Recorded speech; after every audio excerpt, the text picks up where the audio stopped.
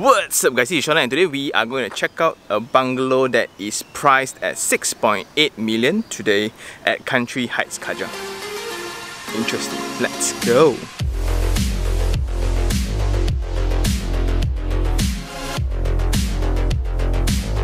Right after the north-south highway, there will be a left turn that connects you directly into this entrance.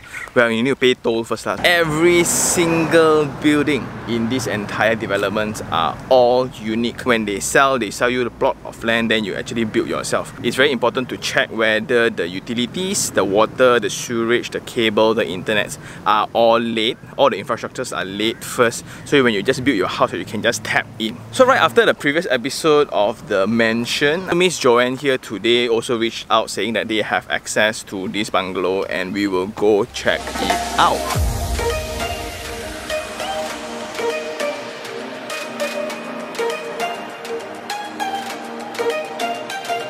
This development at Country Heights, I think is easily around 20-30 years already when they start selling plot by plot and individual owners will buy them and then build them in accordance to their liking. But the risk is when you have empty lands that nobody builds them. Next to you will be jungle or unmaintained land. So that will be the risk for this kind of development. The house that we're going to check out today is in a cul-de-sac. When you come out from the road, it's actually a dead end. So only residents of this road will be using this. Coming in from the main gate, you have again security booth and this used to be the practice for individual titles. The weirdest thing is there's no gate. So it's like that perfect U-turn opportunity for all the people. Then from the entrance, there will be this garden where you have the pool.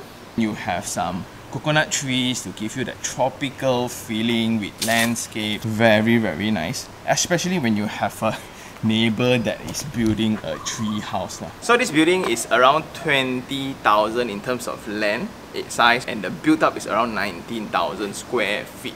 From the swimming pool, when you go in, there will be a car park basement and we will go check it out.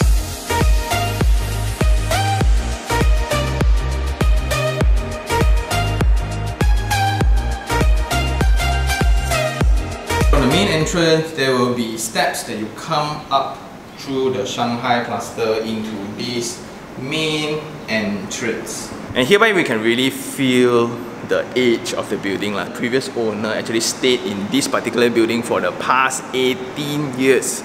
So there tends to be a little bit wear and tear and you can really see the design from that era. On the main door you have this marble flooring. You have very elaborated columns across the stairways, you have the very extensive window glazing. Also, you have a rooftop window. Then on the left of the entrance, you will walk up steps into this living room. Then you can actually go into the dining room, 3.3 in terms of ceiling height. It's very bright because of the flooring materials as well as the wall color so light actually bounces around and that's good. How people highlight spaces back in the days? There are several ways to do it. One is to do a partition, some is to change materials where you can see the kitchen flooring and the living flooring is different and some they adjust the height. So this is a statement when you go into the space. When you walk into the space, you know you are coming to a different space. Going in, you will have the kitchen this is like a central kitchen that we used to find in our clubhouse, right? This is the extensive kitchen. Just that the furnishings, right, you can really see that these were designed 20 years ago. This was the design that my mom and dad craved for for their dream home last time. So we can tell by the dimension of the tiles as well as the wall tiles and plaster ceiling was the thing uh, last time. But then you have weird edges of terminations like this going into this, um, I would call it a breakfast station. So this will most likely be a space where the users of the kitchen will hang out, and they actually allow more daylight. And this construction detailing, so it's actually formed by different straight glass together and this construction technique was really really hard to do back then. Then you have the wet kitchen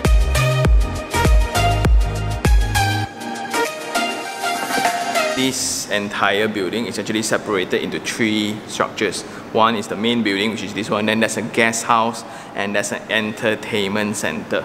So when you are at this level, right, spaces are categorized differently where you have media rooms, you have lounge, you have cigar rooms, and guest room and a display corner. By right, there's going to be a grand piano in the center where you get to really leverage on the daylight or sunlight that comes in to really highlight the space so that you can impress your guests. And if you're staying in this kind of mansion, right, guess who will be visiting you? It's very nostalgic to see details like this where you have the skirtings that is made in a round shape to wrap up the round columns.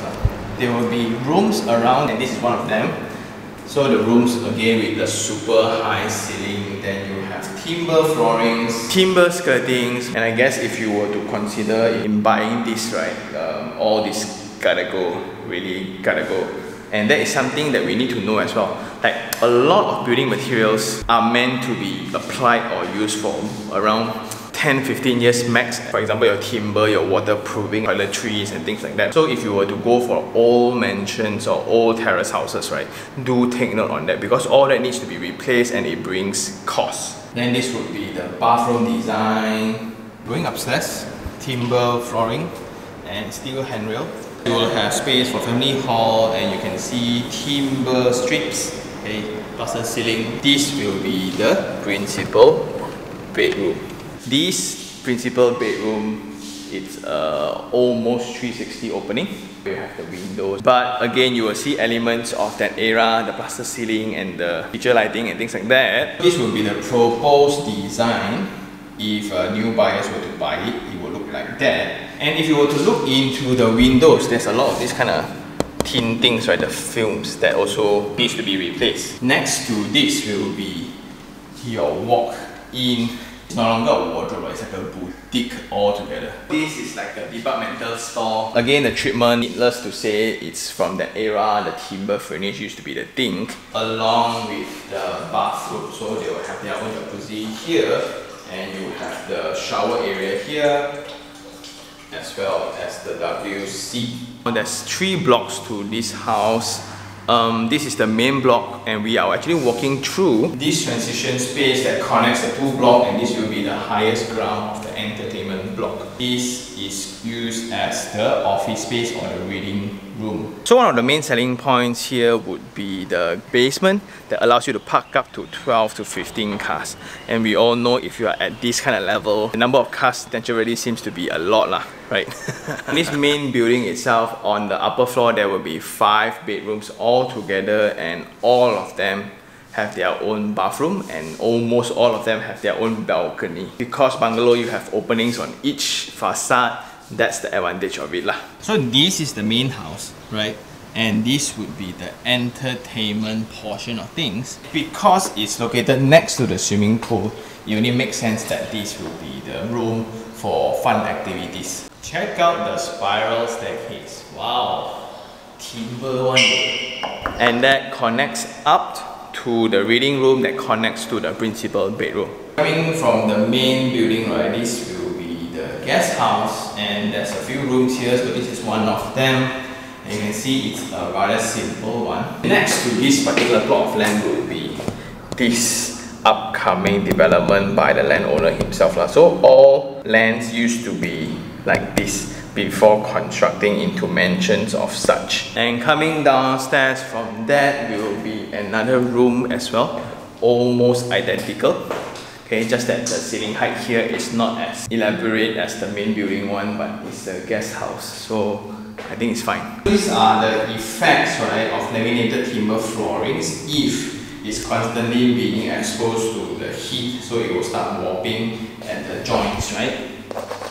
Okay, then you can actually see the timber skirtings also fading and the plastic for air cons also turning yellow. Then the edge connecting the toilet to the timber floor, right?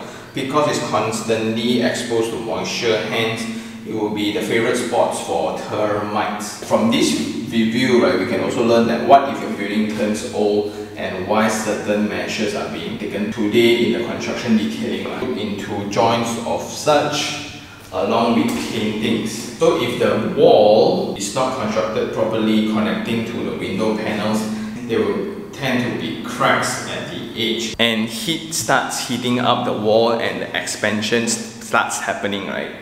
All these kind of things will happen. So we are now in the backyard of the entire property and you can see old car and something to point out. Back then, rich people will have the preference on building their own home and this was really before strata title was being established. But personally, because I'm not there yet, so I'm just really trying to understand the hassle that they will need to go through. Personally, you're the developer that goes through the entire process, engaging all the consultants, architect, contractor, main con, subcon, ID designer, plumber, whatever, just to furnish up, or you just hire a project manager to do that for you but then the design will be very personalized right it's really up to your personal preference when you want to exit that seems to be a problem then something not surprising, a lot of owners here actually own several plots of land.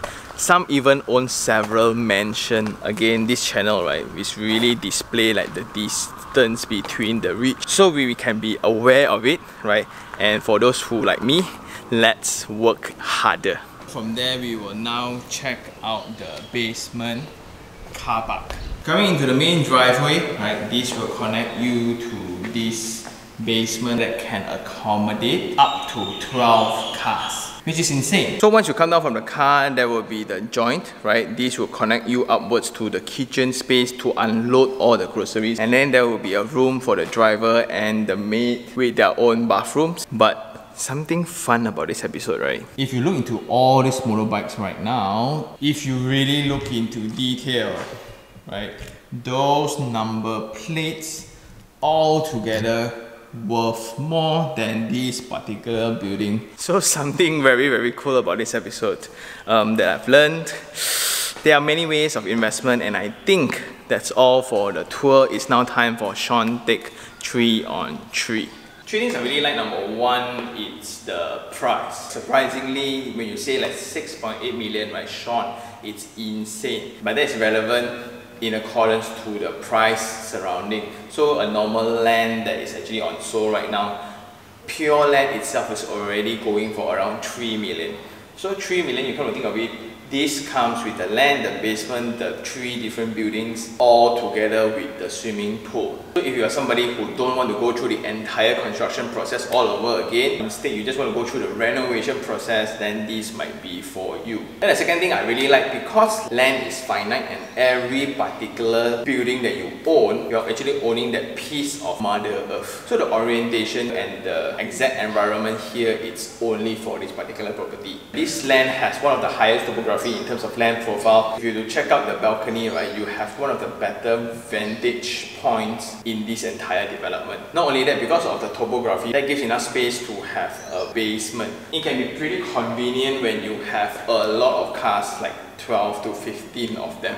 Plus, it's covered so you cannot let anyone know your new Ferrari or Lambos is in the house. That's all I felt that the composition of space. So what I'm trying to say is when we build building, the main thing is bubble diagramming. Bubble diagramming is one of the techniques where we really think from the perspective of the owner in what are the spaces that he really needs to use. It's a very function-driven technique. So the arrangement of all those spaces works for me. Three things I don't like. Number one would be the existing condition of it. Because this was built using materials and technology 20 years ago, hence not all are in their perfect state. But on a good side, the flooring in the ground floor, I think it's in perfect state. Point number two would be the adjacent empty land. Any moment of time, if that owner decides to build when you are in the house, it's only going to be a nightmare in terms of disruption and noise. This area seriously is just too quiet really. I, I can only hear bird sounds and bird sounds and bird sounds, nothing else. And imagine when there's pilings going on, tractors doing earth clearance and things like that. Dong dong here, ding ding there, oh yo. Oh, and easily it's going to take two to three years for such mansions to be completed entirely. Last of all would be the entrance. I think the entrance is seriously too close to the neighbor. Oh, if I'm the owner, most likely I will try to install a gate. I imagine if I'm paying this kind of price, my entrance somewhat needs to be a little bit more exclusive. And I think that's all for this episode. Before we forget, thank you very much Joanne for showing me this very very interesting location and profile as it's quite difficult to get access to visit people's mansion uh. and do I like it? I like this a lot because the structural elements make sense. This was built in accordance to a person's preference hence it needs to be very very practical. The circulation from space to space makes a lot of sense the scale makes sense the material choices make sense at that current moment of time hence you will need to compare right, between building a total new one or you want to just work on a canvas with existing structures. So it's really up to you. But overall, I would actually prefer to work on this straight away instead of building from scratch. Lah. So if you really like this episode, like it, share it, and even subscribe for more information like this. Until next time, this is Sean Tan. Ciao.